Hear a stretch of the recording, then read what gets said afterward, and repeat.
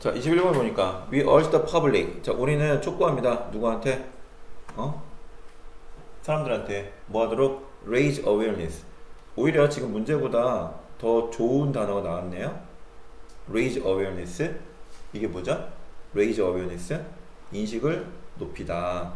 라고 해서 자주 사용돼요. 그 요건 챙기세요. 인식을 높이는 거요. of wildlife smuggling.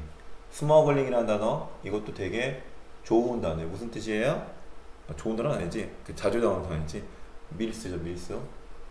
And fight against the smuggling 나왔으니까 바로 연결되는 거 뭡니까?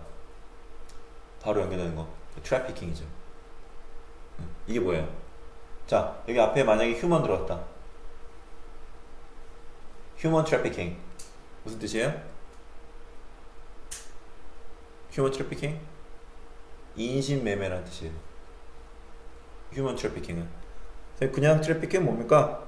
그냥 trafficking은 불법 거래라는 뜻입니다.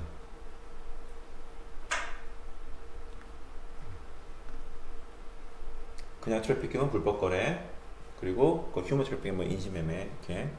그 A의 이제 detention. Detention 같은 경우에는 이제 학원에서 많이 사용되는 단어이기도 한데 단어 시험 못 보면 남기는 거. 그걸 detention이라고 해요. 근데 이걸 좀 그 법정 용어로 있어 보이게 만들면 뭐가 됩니까? 그 구금이라는 뜻이에요. Detention은. 음.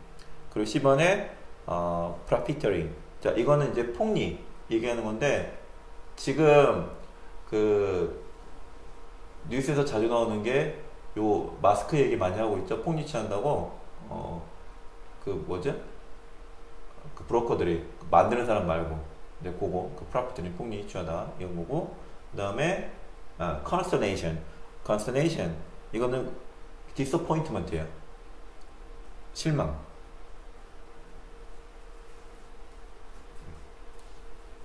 그렇게 가볍게 봐주면 되겠습니다.